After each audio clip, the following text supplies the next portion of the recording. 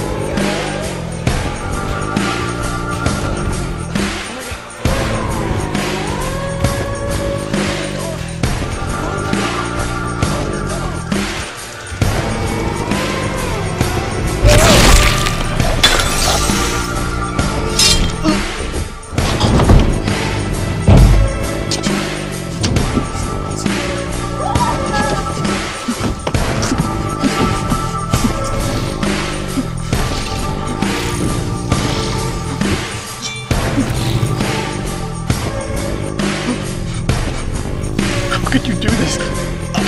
How could you kill someone? I didn't kill anyone, Kurt. You did. What? It's understandable, really. Your boss despised you, your peers treated you with contempt, and so you decided to get revenge. No. You stole company secrets, an innocent prank at first, almost just to see if you could get away with it. But when David found out, boy, things just got real messy. I mean, it was either you or him.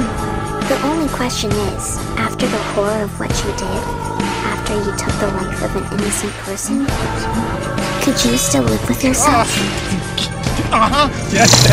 Ah, ah, ah, stop, stop.